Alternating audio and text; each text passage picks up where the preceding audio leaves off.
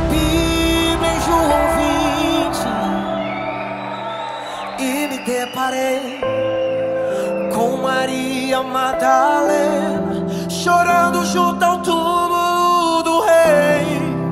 Ela levanta sua cabeça, enxugando suas lágrimas, seus olhos ela abriu. E onde estava o corpo do mestre? Dois anjos Maria Maria, por que chora? Então Maria lhe respondeu: Aqui estava o corpo do Mestre Jesus. Só que o corpo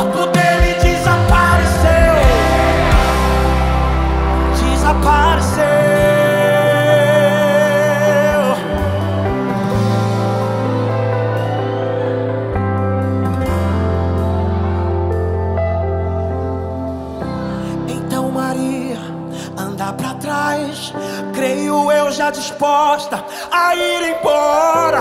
É quando Yeshua aparece e lhe pergunta: Maria, por que chora? Maria, por que me busca? Maria, faça-me um favor, não me procure entre os mortos, porque vivo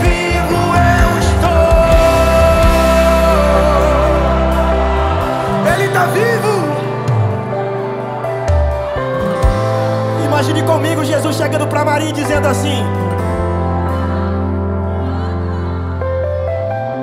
Vai lá e avisa os seus irmãos para começarem a sorrir. Diz a eles que não acabou, mas que a